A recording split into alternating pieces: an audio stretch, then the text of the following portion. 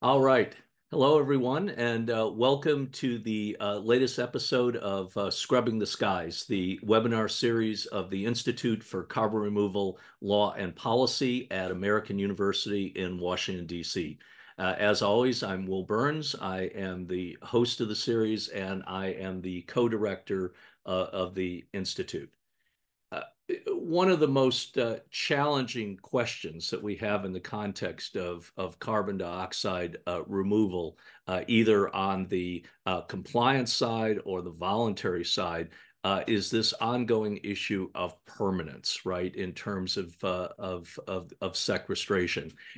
this was brought most recently into market relief by the efforts of the supervisory committee of the Article 6.4 uh, uh, body within the Paris Agreement to uh, address that very issue, right? And and the fact that in in various iterations we've seen different uh, incarnations of of of, of permanence, uh, different uh, ways to measure permanence and assess it, and different conclusions speaks volumes to how this is an important ongoing sort of issue.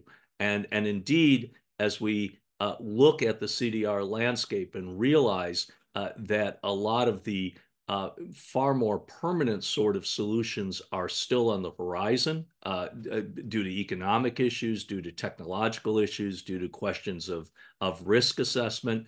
Uh, it is it is certainly pertinent to ask the question: uh, What do we do with uh, with CDR options that are viable but are clearly less permanent in in in nature?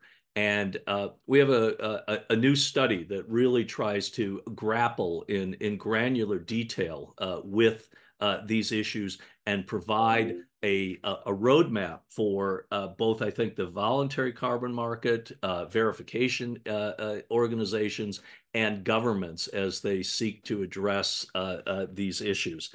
The title of the study is Governing Permanence of Carbon Dioxide Removal a typology of policy measures. It was released in November by CO2RE, the Greenhouse Gas uh, Removal uh, Hub. And we are fortunate today to have the uh, two authors of that report uh, who will uh, work us through its particulars and then uh, and then answer uh, some questions that uh, uh, that we would have in this context. So first of all, let me introduce our guest today. First of all, uh, Josh Burke, who is a senior policy fellow with the Grantham Research Institute on Climate Change and the Environment. Uh, welcome, Josh. And Dr. Uh, Felix uh, who is a research associate with the German Institute for International and Security Affairs uh, in uh, Berlin. Uh, welcome to you also, Felix.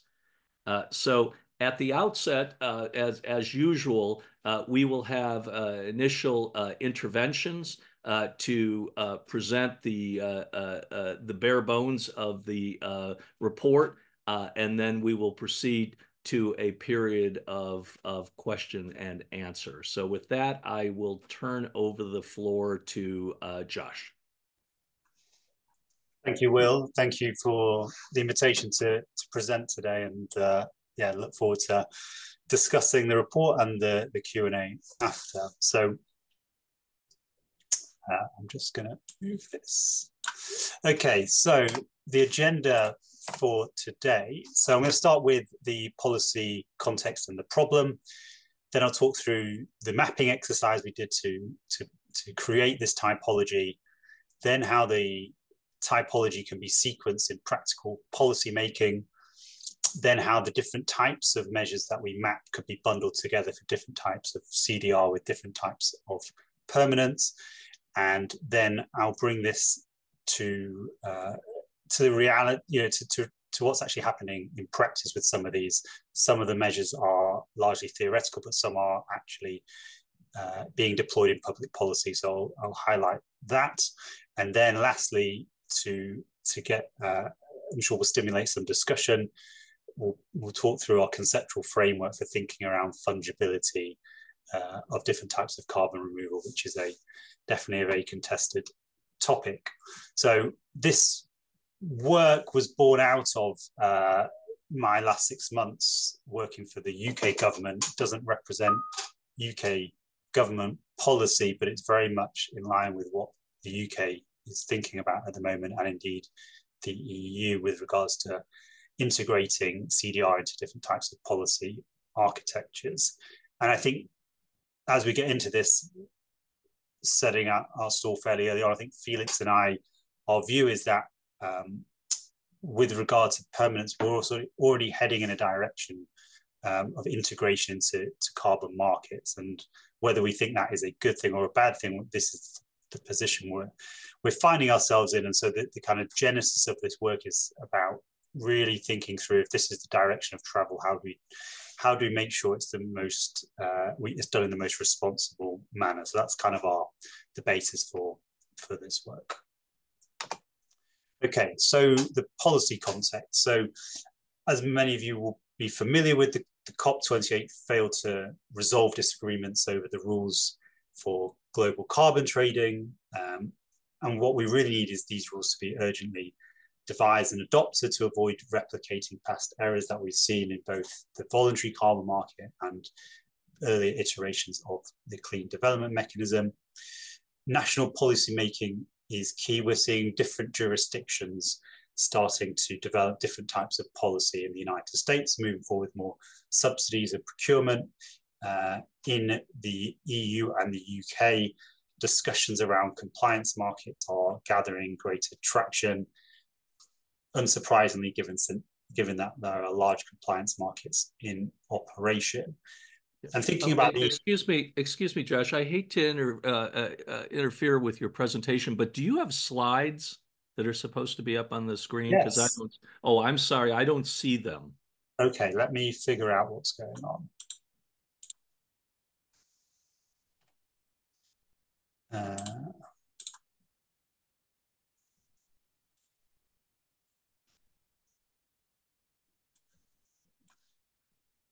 aha.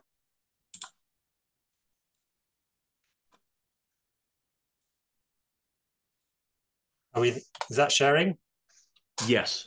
Thank okay.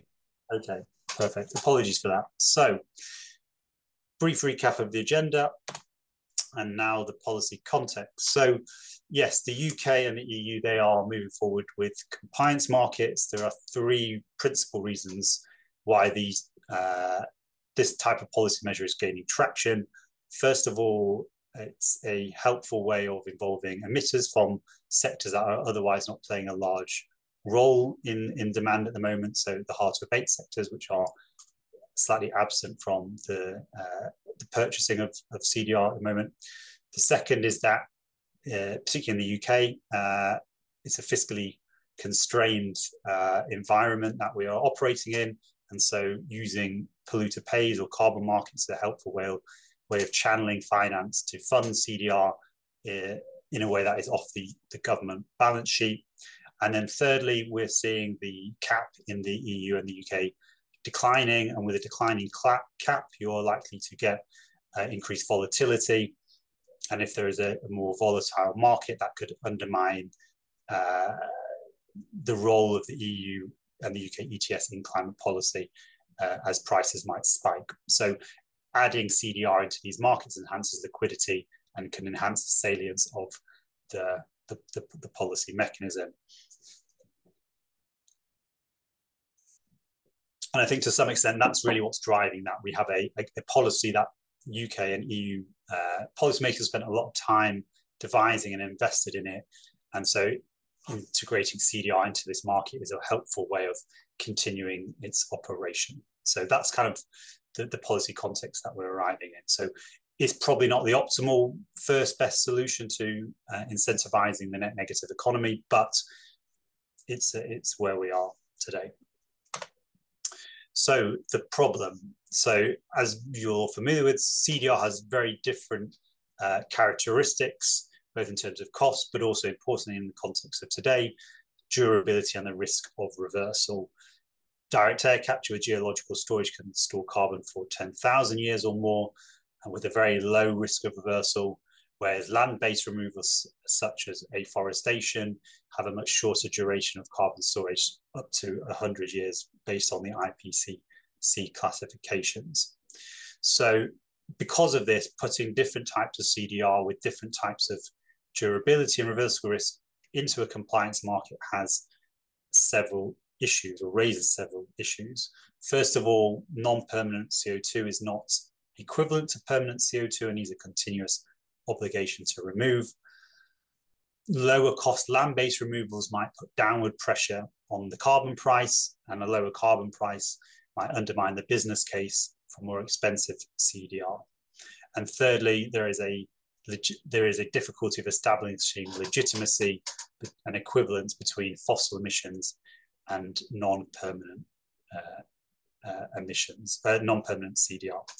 And overall, this has implications for the policy design, as we'll get into now. So the first step in our in our paper was to map the different types of uh, measures that are there to deal with different types of problems that arise from uh, varying degrees of permanence. So for today's talk, I'm only going to keep it high level at the at the kind of uh, the numbered uh, components, but in the discussion at the end, if people want to get into the more detailed bits, then we can do so. So there are five measures that we outline in this typology. The first are foundational measures, and by that we're talking about monitoring, reporting, and verification. The second set of measures are de-risking measures. That is essentially private sector initiatives such as insurance or ratings agencies, where investors or buyers can go out to utilize these services to get a better sense of the risk profile attached to certain CDR projects. The second is durability measures or reversal measures, and this is what we are, and buffer pools are what uh, underpin this. The fourth measure is fungibility measures. So these are measures to uh, try and determine some kind of equivalence between permanent and non-permanent uh, CDR. And the output of this are equivalence ratios. So for example, you can use economics to determine that a non-permanent CDR, you need three of those to equate to one permanent CDR. That is an arbitrary example here, but that's the kind of output you get from some of these fungibility measures.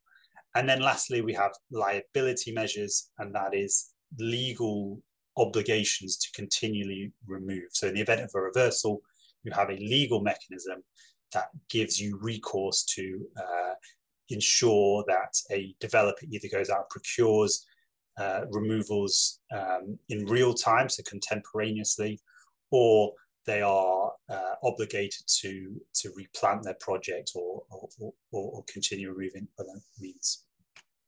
So that's the kind of five measures at a high level. Underneath, as I said, there are various different types of methodologies that sit under there it's quite cumbersome to talk through, but we can maybe leave that for the for the Q and A. But I want to just outline those five high level measures for now.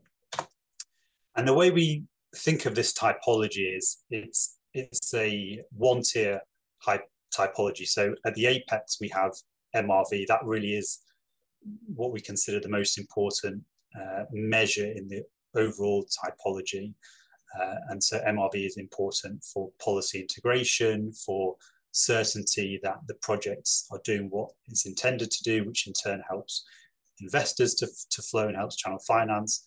And it also enhance, increases trust in the, the CDR method, which helps to potentially overcome any public uh, or political opposition to CDR. So really, MRV is absolutely critical.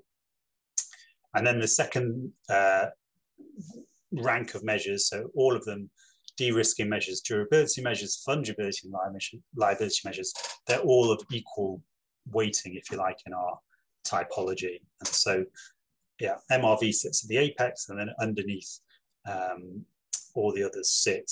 And what we see currently, particularly in the VCM, the voluntary carbon market, is we're already seeing uh, MRV in operation. We're seeing de-risking measures in operation. So that's the use of insurance or ratings agencies and we're seeing buffer pools already in operation in the VCMs. We're also seeing it for some uh, forestry uh, projects uh, in compliance markets, but uh, in terms of uh, carbon removers in the voluntary market at the moment. And what we envision as, although MRV is the apex and the most important, both MRV and liability measures, so numbers one and five, we think they're both critical in both market structures, so both the compliance market and the voluntary market.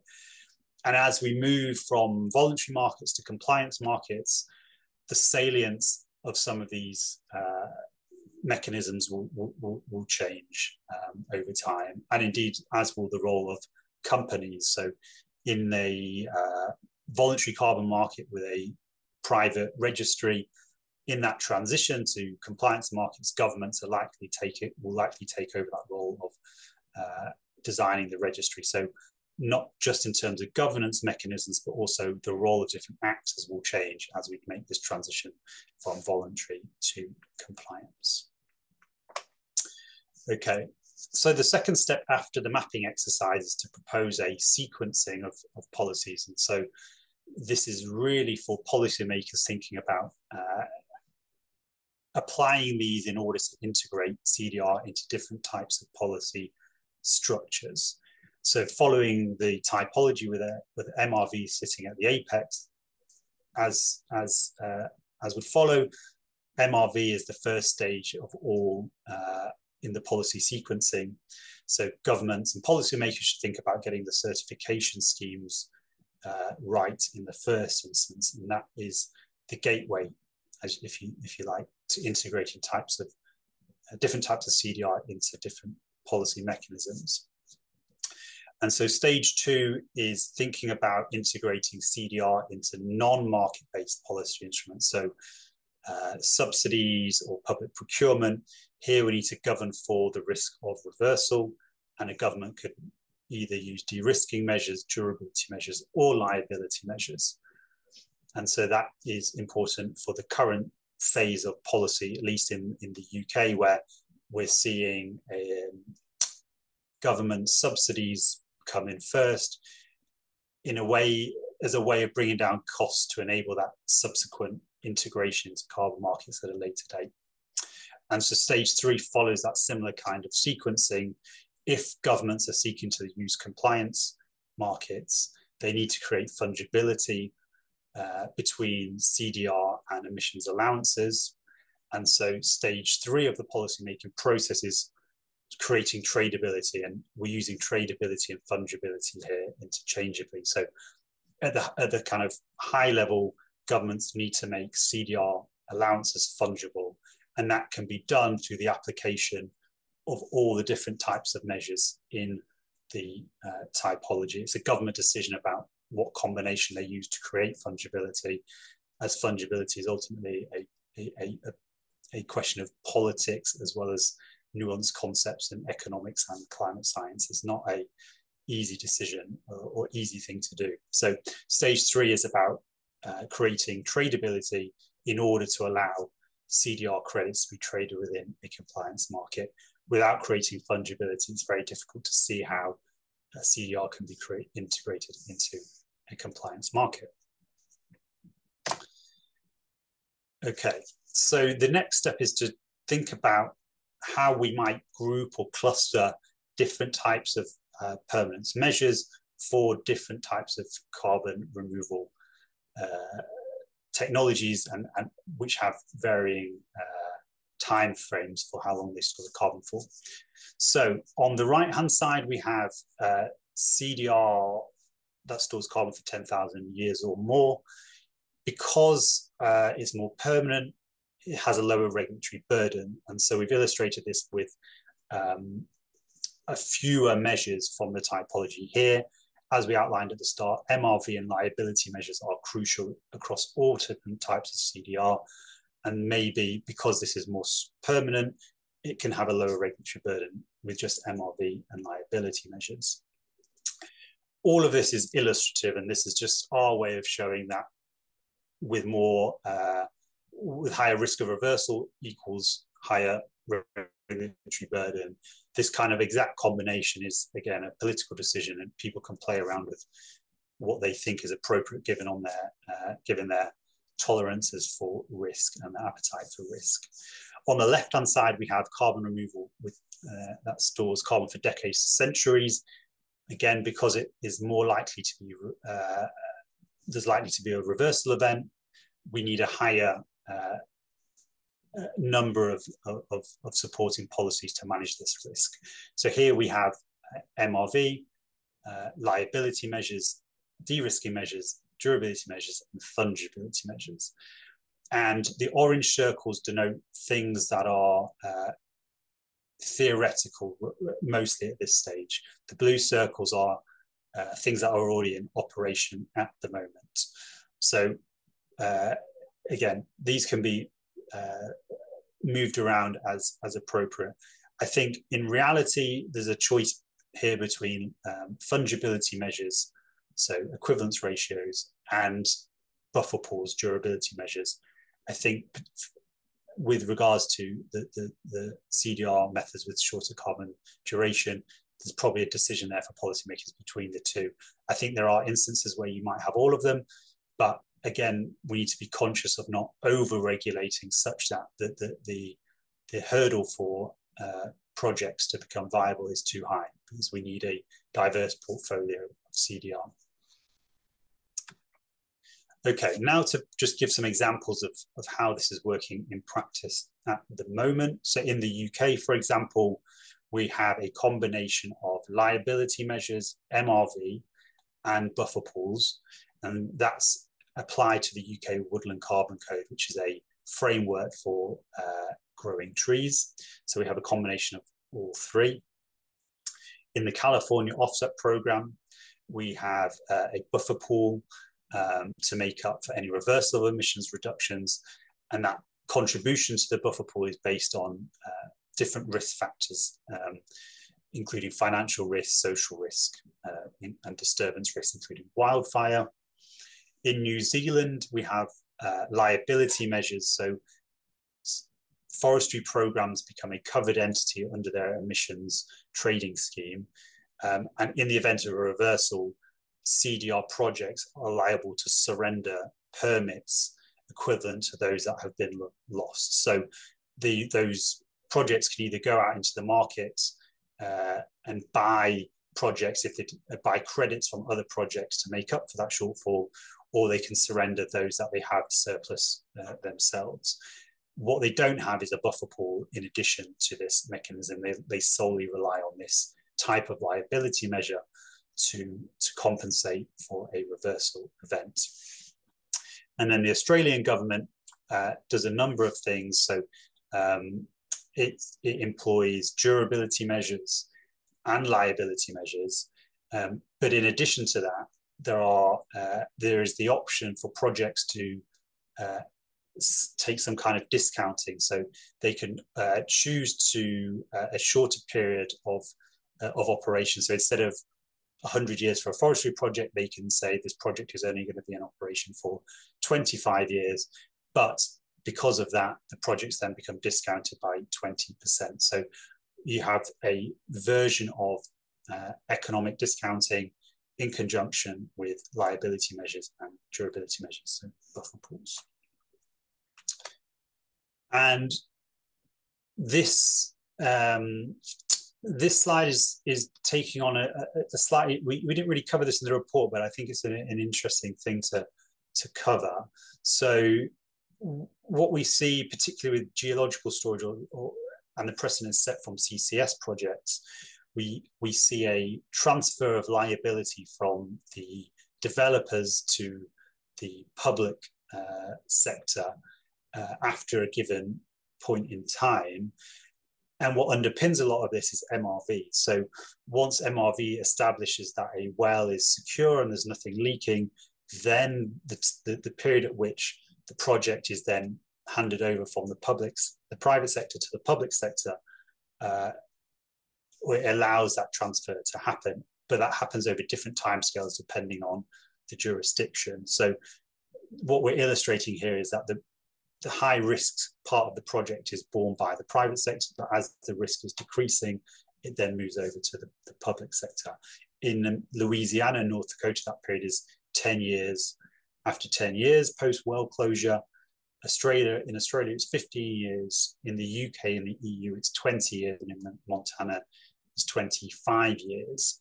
And in terms of um, equity, and I, I, think this is a the, the, time at which this transfer is made is really important because what we don't want to do is is set the timeline uh, too too too risky for the public sector, such that the uh, privatization of benefits and the socialization of risk is tipped too far in favor of the latter. So it's really important to get this this tran- the timing of this transfer right, such that the public sector doesn't take on too much risk and is liable for any sort of leakage. Okay, and so I'm going to finish on this, which uh, provoked a lot of contestation uh, in our previous discussions. And so this comes with a health warning, which is these classifications are based on those set out by the IPCC and not ours. They're not intended to be fixed in perpetuity. They are solely there to, to serve as a guide, and people can move these technologies into different the different buckets as they wish and as, as certainly as new evidence emerges. So the starting point for this is uh, when we think about fungibility, you could determine that CDR en masse is not fungible with uh, emissions, fossil emissions reductions. That's one starting point. Or you could think of fungibility on a sliding scale. So fungibility could be uh, partial, uh, and by that we're talking about intrafungibility. So partial fungibility thinks of um, CDR with the same uh, storage characteristics might be fungible with each other. So CDR with um, that stores carbon for decades to century could be fungible with other technologies that store carbon for the same amount of time. So this type of fungibility is what we're calling intrafungibility. Then moving away from that, you could think of uh, all CDR is fungible regardless of how long it stores carbon for. And here we, we, we, we're terming that interfungibility, so horizontal fungibility. So uh, with intrafungibility, we're saying peatland, for example, which stores carbon for decades, a century, is not equivalent with CDR that stores carbon for 10,000 years or more. If we relax that a bit further, we could say there is interfungibility. And so subject to the appropriate uh, mechanisms we outlined previously, you might be able to construct a scenario where you're comfortable with, with saying that uh, biochar is fungible with, with, DACS. I think where we are at the in the paper is that we would be comfortable with intrafungibility, but we think the risks are too great to allow for interfungibility because the storage characteristics are just too different. So when it comes to integrating different types of CDR into compliance markets, this has implications. So what this framework would suggest is that decades to century CDR would not be allowed to be integrated into a compliance market because it's just not fungible. However, those technologies that are uh, more permanent, so 10,000 years or more, we would be comfortable with those technologies being integrated into a compliance market we need to make a distinction distinction in terms of the timeline for that. So we indicate short run interfungibility. So BECCS and DACS more likely to be able to be integrated in the short term because the MRV uh, readiness is is uh, or MRV is more mature, whereas uh, ocean alkalinity enhancement and enhanced weathering, the timeline for integrating those into compliance market is likely to be much longer because the MRV is much more complex and so that's a big barrier at the moment for integrating it, not just into compliance markets, but into car, uh, climate policy more generally. So yeah, the, the, kind of takeaway from this is, is rather than thinking about fungibility as a binary thing, we think about it as a sliding scale of from no fungibility to partial fungibility, which is intrafungibility, to full fungibility, which is all CDR can be fungible with each other. So I'm going to end there and say thank you. Here is the link to the paper and some uh, posts about it, as well as our contact details, and look forward to the discussion. Thank you. Should I stop sharing my screen, Will? Um, yeah, that'd be fine. Okay. All right. Thank you very much, uh, Josh. And so we are going to uh, move to the uh, Q&A phase, and uh, I encourage everybody to uh, uh, to populate the Q&A box to facilitate discussion. Um, I will. I'll start us off uh, just uh, just a few uh, seeding questions of things that I thought were interesting in the report, maybe a little more uh, uh, uh, below the below the initial soil level. First question is, you indicated that that CDR approaches that only facilitate permanence over over decades to centuries, right, might not be appropriate in terms of integration into the compliance markets. But you you had an interesting discussion in there about the potential role of these kind of approaches in terms of uh, short-lived uh, climate forcing, and uh, that, that's a that's an issue near and dear to my heart. So I was wondering if you could expand a bit on the potential role of those approaches in that context and what that might look like.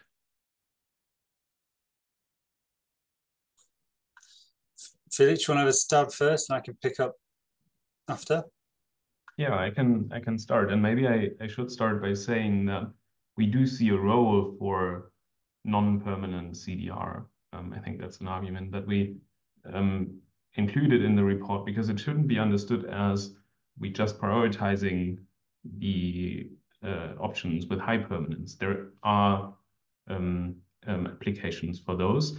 And as you already indicated, um, maybe methane emissions or others that have different um, warming potentials than CO2 and are emitted in agriculture. So maybe we think about um, carbon markets in agriculture. We have this discussion in the European Union now, and maybe we could include um, less permanent removals there. So this, this is where the discussion comes from. But maybe Josh have um, additional thoughts.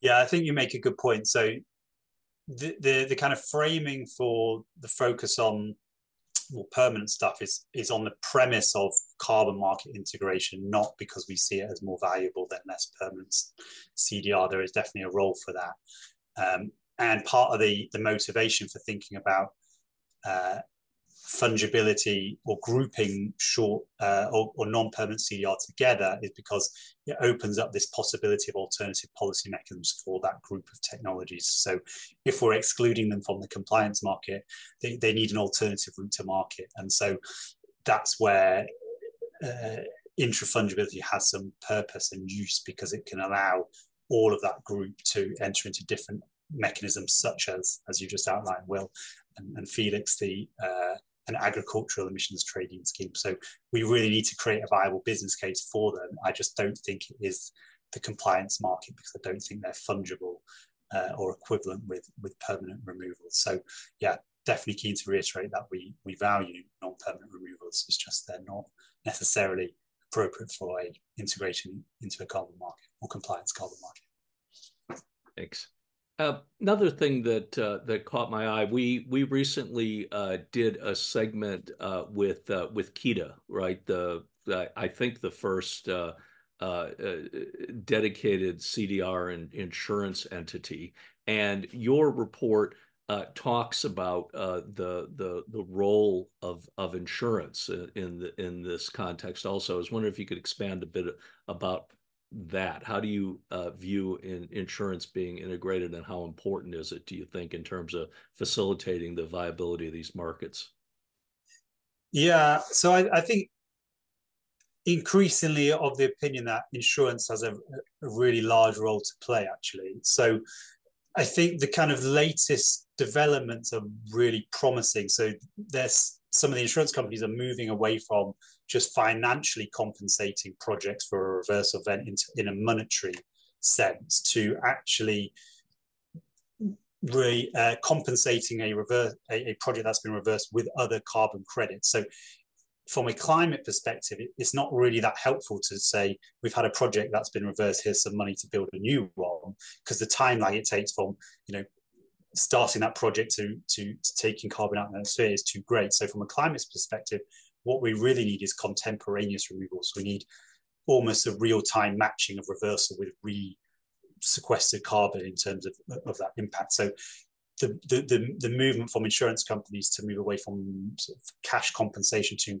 credit compensation, I think is a, a very helpful move in, in, in that regard. And when we were thinking about some of the, the permanence mechanisms, how you bundle them together, some of the the reasoning was to deal with that problem that just because you have a mechanism to say a company or a project needs to compensate for reversal, it doesn't help from a climate perspective if there's a lag between the reversal event and that compensation being made in some form. So that's where you need uh, the, the legal liability mechanism to enforce a company to, to, to kind of compensate for that. But that's why a buffer pool on top of that can help deal with the climate challenge uh, from a reversal event. So the layering of policies can deal with slightly distinct issues um, that are, posed when a reversal event occurs. Yeah. Do, do you think that'll be, as these markets start to ramp up, uh, I, I, agree with you. It's salutary to have uh, the ability to uh, to compensate uh, reversals with with carbon removal. Uh, but do you think as these markets ramp up, but are still in fairly nascent stages that that will always be viable given kind of the the shortages of of viable carbon removal that are out there yeah that's the big worry i think you know a lot of this is predicated on a liquid market that mm-hmm. people can go out and just purchase a new credit for reversal and that you know we, we just don't know. I, I, I don't think we can rely on the fact that this market will be readily available to dip into when as and when we need it. So it does worry me, which is why we sort of need some of these other policies, the buffer pools that set around projects and deal with the risk up front as opposed to in the future. You know, if you have a liability mechanism, it only deals with the risk in the future as and when it happens. Whereas if you have a buffer pool that sets aside credits at the start, you're dealing with the risk up front. So matching some of these types of, of measures together can help sort of deal with those risks.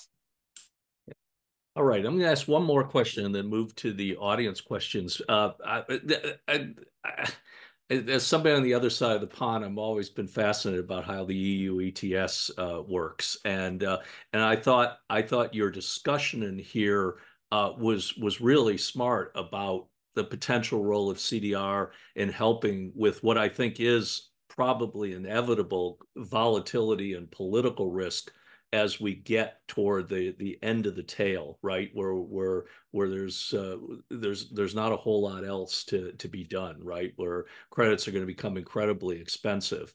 Um, I guess one question I had is there are there any are there any moral hazard risks, right, associated with saying, well, the the way you're going to uh, address this is is simply uh, uh make a foray into CDR markets?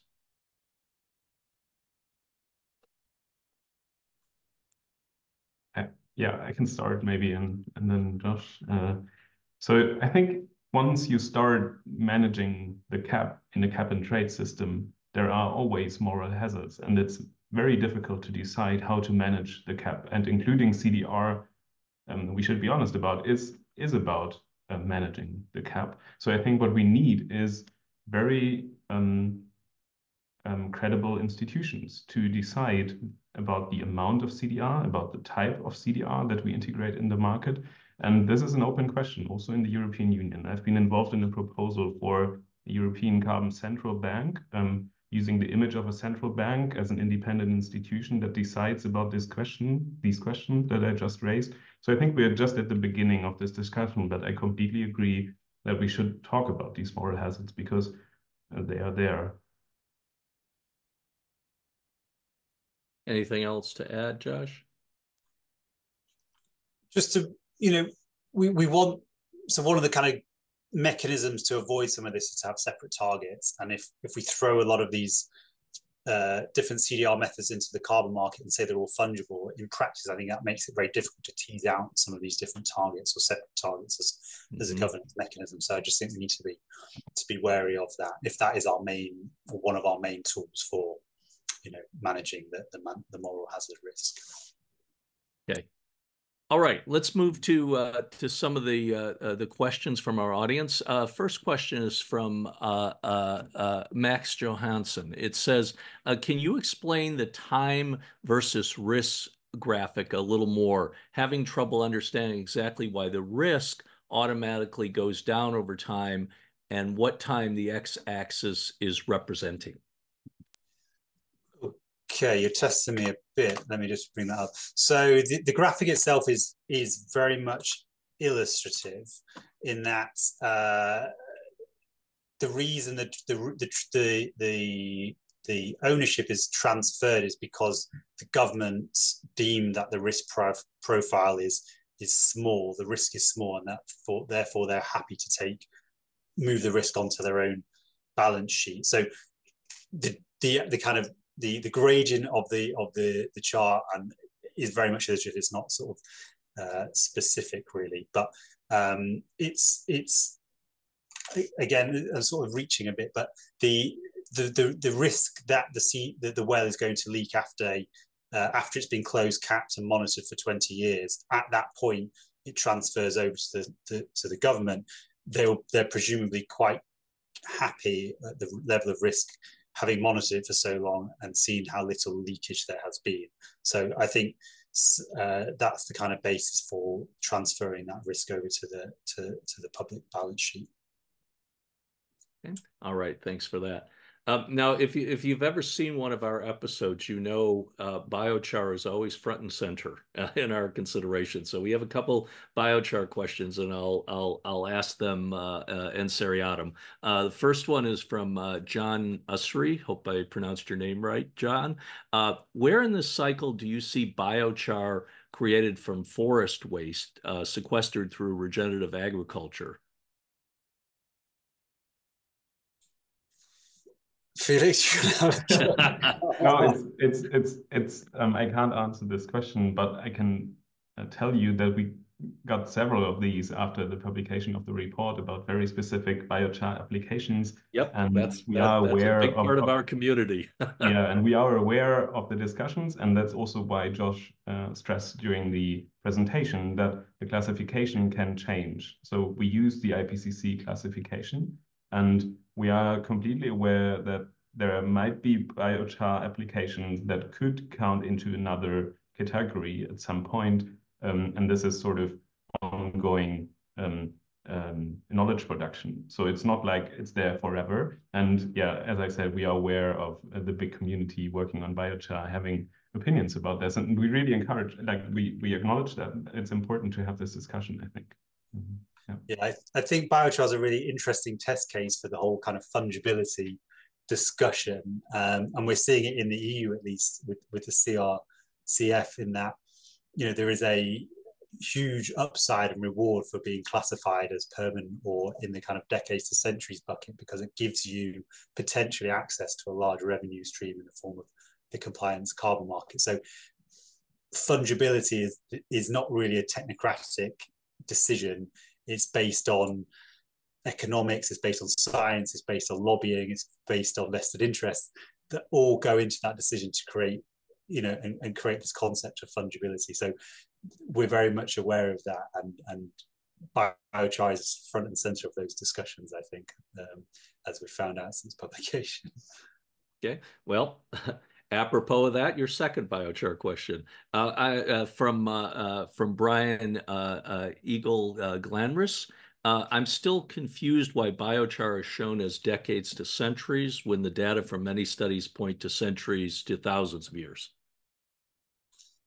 Yeah, for the for the, for the same reason. So the IPCC classify it as decades to centuries. We've just used their classifications, but you know the, way we've grouped this is it's a framework and it's adaptable and people can shift around the technologies into the buckets that they think are most appropriate. If you can make a good argument that biochar sits in the centuries to millennia bucket on the right hand side, then you can make the case that it's eligible for carbon market inclusion. Equally, if people think it isn't and it deserves and it sits in a in a bucket of uh, a carbon storage grouping of, of shorter timelines, then it doesn't fit in the carbon market. So it's kind of at the discretion of policymakers to, to say what they think is the most appropriate uh, fitting based on the best available and latest evidence, which is very much uh, is quickly emerging and developing.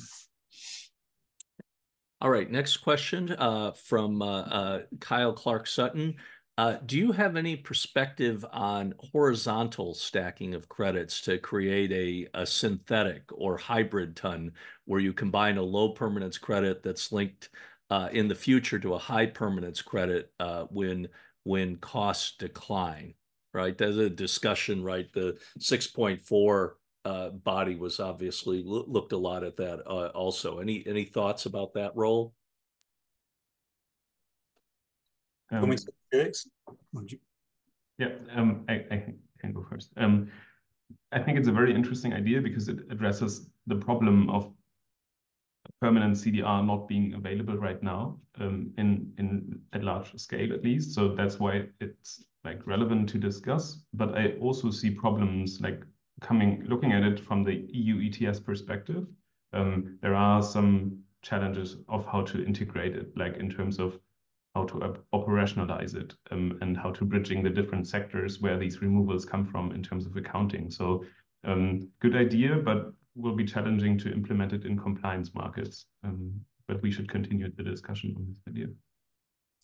Yeah, we, we, we, we try to touch on this a bit. So in the typology of measures, we under the liability category, we have perpetual removal, which is a form of horizontal horizontal stacking, if you like. So companies are obligated. So if they buy a credit that lasts for 50 years, they're obligated to at, year 50 automatically forward buy another project for 50 years. So they can kind of perpetually keep uh, removing carbon in uh, over time. The challenge with this is it depends on the type of project you're buying.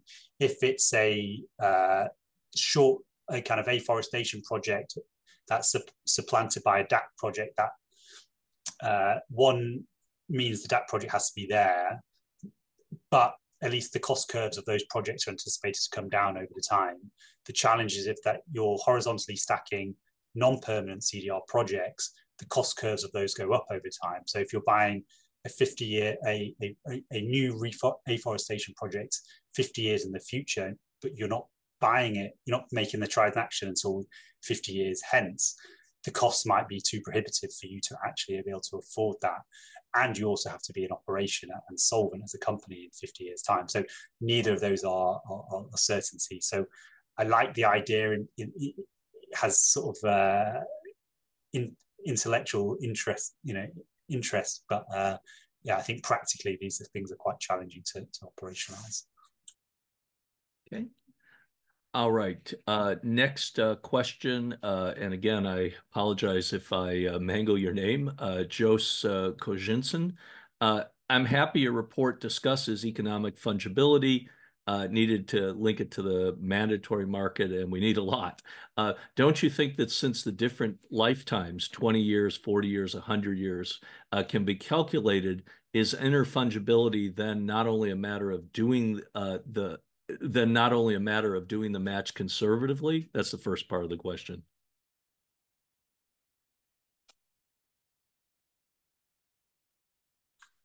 I just need to get my head around that for a minute. Yeah.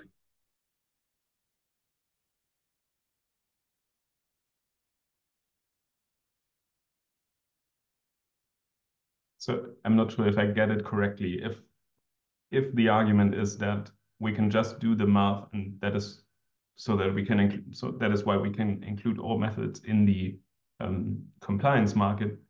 Well, yeah, I mean you could argue that, but I think there one big risk about this approach is that if we have the non-permanent approaches methods in the compliance markets, um, they will be much cheaper than permanent CDR, and they will sort of crowd out the permanent and high quality CDRs. Um, um, so the prices maybe will never go down if like put it provocatively. So I think that's an argument against this and um, to have to keep it separated.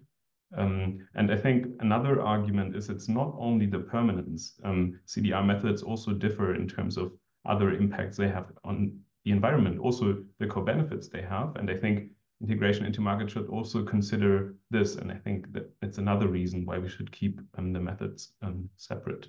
Um, I hope that answers the question. Um, maybe Josh, you have you you got your head around. Um, uh, I'm still grappling with it, but I think you make an important point. We're often focusing on the issues of, of just permanence, but there are other uh, market impacts. So, as Felix said, lower cost CDR might lower the price uh, in the compliance market, which then might not incentivize more expensive, more durable, and additional CDR. So there are other kind of non-permanent issues that we also need to to think about here, and that sort of can be tempered if you're allowing lower cost land-based projects in your own country. So I think of the UK, for example, those forestry projects will be much more expensive than forestry projects in other parts of the world. So there is a sort of tempering effect depending on if you allow international credits or, or CR projects or, or domestic projects. But overall, you just need to be conscious that these projects that are lower cost don't uh, depress market prices too much. All right. Next uh, question from uh, uh from uh, uh, Brad Warren. Um, in evaluating policies that transfer risk to the public sector, there's many examples of industries getting deals that offload most risk to public. two examples: some U.S. states are liable for old leaky oil wells instead of drillers, and then the Price-Anderson Act in the United States for nuclear plants socializes liability above a threshold. Uh, Josh, you mentioned an interest in preventing excessive transfer of risk to the public. Isn't that a tall risk politically? How can governments in the real world prevent industries from offloading risk in this way? Do some jurisdictions provide examples of successfully holding that line? Yeah, good, very good point. I think um, uh, it is really it is really challenging, and um, I forgot what I was going to say now. Um, bear with me one sec.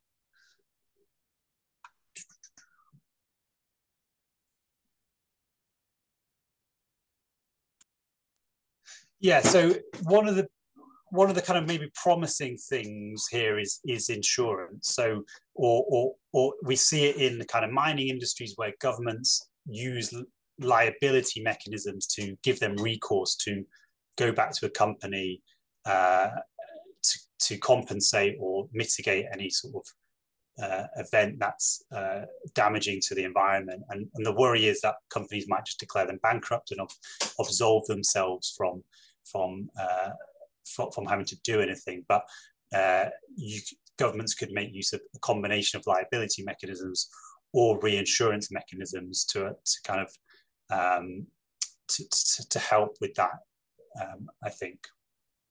I don't have examples of jurisdictions doing some of those things, but I think the mining sector does some examples of where uh, that's been used effectively. Okay. Uh, let's see. Uh, question from uh, uh, uh Killian. Uh, in your view, what speaks most against an integration of non-permanent CDR into compliance markets in combination with a European uh, uh, carbon central bank as suggested by uh, Edenhofer and Kalkuhl?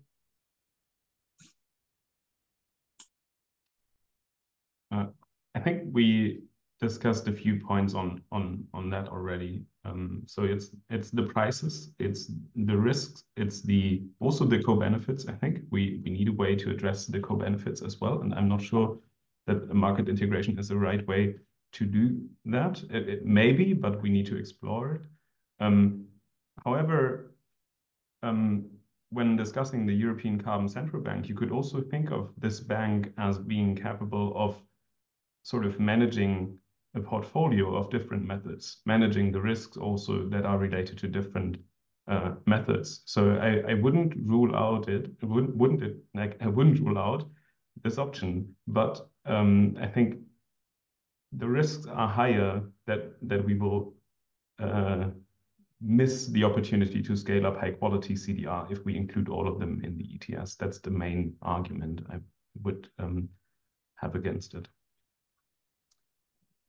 I've just remembered what I was going to say on the, on the last question. So I'll, I'll just that very quickly. So I, I, think regardless of the, the mechanisms we put in place, I think we all have to recognize that governments are the de facto backstop for reversal events under UNFCCC anyway. So we can we can try and sort of hold companies accountable in the event of a reversal event, or in the UK under its uh, interim carbon budgets. If we breach a carbon budget, the government is the de facto backstop. The public is the de facto backstop anyway. So that's just kind of broader framing for transfer of liability, no matter what, whether it's 10 years or 20 years, whatever time period you use, the government is still going to be liable under its climate change obligations from a from a legal perspective or its domestic climate climate change targets as well. Okay.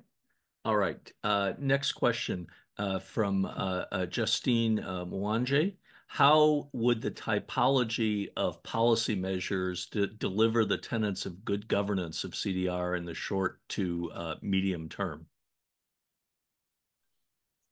So I think if the government's followed the sequencing, so it starts with good MRV, that's the basis for all good governance, and then the integration into CDR into policy can then follow. So that's kind of what we would think of, of, of good governance following this this sequencing, so that you get the MRV right, it's robust, it's reliable. We know the CDR methods are doing what they are intended to do, delivering public benefits as well as removing carbon and then over time you can start integrating CDR into policy architectures. I would I would worry if we sort of skip stage one and move straight into uh, into stage three. And I think at least in the UK and the EU we are moving forward first with that kind of uh, MRV legislation and design, and then it's going to be integrated into policy after. And I think that's a good sequencing for, for good governance. Anything to add on that, Felix? Okay. All right. Uh, let me wedge one one final question in here from Brad Warren also. Uh, Felix, you make a case for keeping CDR separate from existing offset markets. Would that amount to a case for creating a distinct CDR market along the lines of Klaus Lackner's proposed ton for ton uh, removal mandate, right? Otherwise known as, I think, carbon take back obligations. Mm, yeah, I think, well, I'm not arguing against including CDR in compliance markets. I'm arguing that we shouldn't include all methods in compliance markets as we know them. Um, so that's, I think, an important um, um, element there. And then I think we it's a good idea to think about um, distinct CDR markets or CDR only markets. Um, we mentioned the the less permanent removal methods. Um, we could think of a market just for them, for example. There are also ideas out there for, for having a distinct emission trading scheme or removal trading scheme and not including it. Um, I think, again, we are early in this debate and we need to explore all options. I'm not ruling out these options. And I think countries will also have very different responses to this. And I'm not saying that everybody should follow the EU ETS uh, um, example or something like that and maybe even the UK and the EU will will take different decisions on on that. Um, yeah, and the removal market. Back to the question, I think we should also explore this. Anything to add, Josh? Okay. All right. Um, we are almost at the uh, bewitching hour. Uh, I'd ask uh, Felix and Josh if they have any any final uh, thoughts before we uh, close. thank you for your for your engagement and the opportunity to, to present this. It's uh, yeah, a very much a live discussion, and uh, yeah, look forward to carrying working on this. Okay, all right, and uh, thanks to uh, uh, to Josh and, and Felix for uh, for an excellent summation of this uh, report and all of the thoughtful questions as always.